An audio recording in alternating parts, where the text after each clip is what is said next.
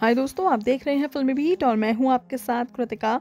अनुपमा में मालविका और वनराज से तंग हुए दर्शक मेकर्स पर निकाली जमकर भड़ास। कब खत्म होगा ये सब as you know star plus का सीरियल अनुपमा हमेशा से ही चर्चाओं में रहता है, लेकिन अब फैंस इस सीरियल की जमकर निंदा कर रहे हैं।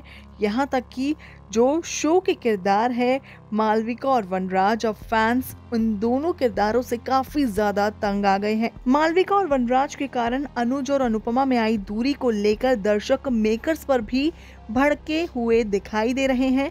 कई सोशल मीडिया यूज़र्स ने ट्विटर के ज़रिए मेकर्स पर अपनी नाराज़गी भी ज़ाहिर की है। बता दें शो में पहले जहाँ अनुपमा शाह परिवार के बीच पिसती हुई, उन्हें संभालती हुई नज़र आती थी तो वही इन दिनों वो कपाड़िया परिवार के बीच पिस रही है। इस बात ने दर्शकों को परेशान कर दिया है। एक दर्शक ने इस पर नाराज़गी ज़ाहिर करते हुए लिखा, पूरी ज़िंदगी अनुपमा ने शाह परिवार के कर्मों का फल भुगता है। उसकी ज़िंदगी में कुछ भी बदलाव नहीं आया, क्योंकि अब वो कपाड़िया के साथ जूझ रही है। ऐसा क्यों? उसे थोड़ा तो प्यार दो, उसे इसकी ज़रूरत है। शो में भले ही अनुपमा और अनुज एक दूसरे के नज़दीक आ चुके हों, लेकिन इन दोनों का एक दूसरे के साथ मिलन नहीं हो पा रहा है।